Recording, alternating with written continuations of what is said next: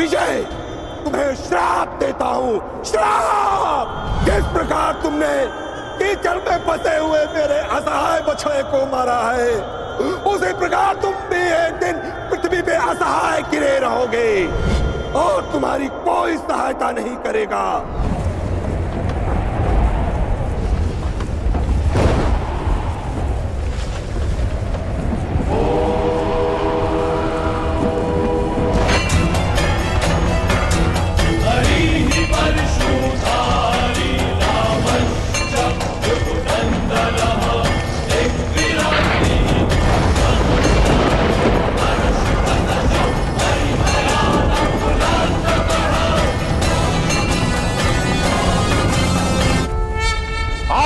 बार फिर परशुराम का फरसा उठा है क्योंकि घोर अन्याय हुआ है। मेरे शिष्य को अकारणी श्राप दिया गया है। आज संसार में प्रलय आएगी।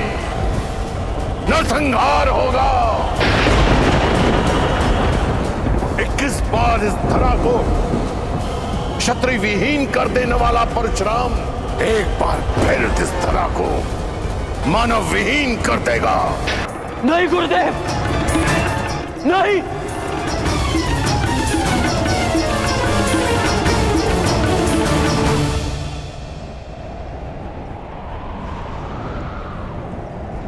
ऐसा अनर्थ मत करिए, गुरुदेव।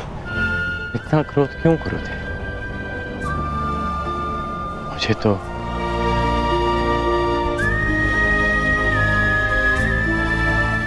श्राप और उपेक्षा का अभ्यास सा हो गया है। और आपने भी तो मुझे श्राप दिया है गुरुदेव। उसी अपराध की अग्नि में तो परशुराम अभी तक जल रहा है पुत्र। ऐसा कहकर मुझे पाप का भागी ना बनाए। जीवन में इससे बड़ा प्रसाद नहीं हो सकता। और वैसे भी गुरुदेव कोई भी श्राप और कोई भी पीड़ा मेरे भाइयों की मृत्यु से अधिक नहीं हो सकती। समानता चाहिए, गुरुदेव। और इस न्याय परिवर्तन और समानता को पाने के लिए मैं एक श्राप तो क्या? सहस्त्र श्राप सह सकता आपके इस शिष्य को अपने लक्ष्य से,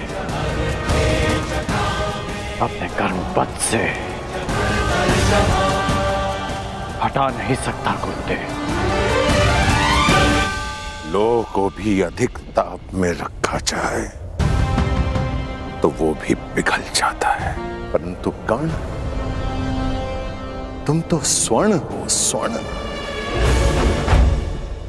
तुम्हें जितना तपाया जाता है, तुम उससे कहीं अधिक चमकदार बनकर निकल आते हो। न भूत हो, न भविष्य हो। न कभी हुआ है। और ना ही कभी होगा परंतु वत्स, मृत्यु भी तुम जैसे धैर्यवान। और वीर योद्धा को प्रणाम करेगी। अपने कर्म पथ पर आगे बढ़ो, कम।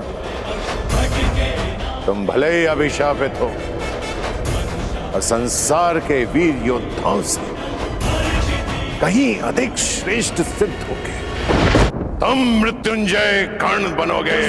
कर्ण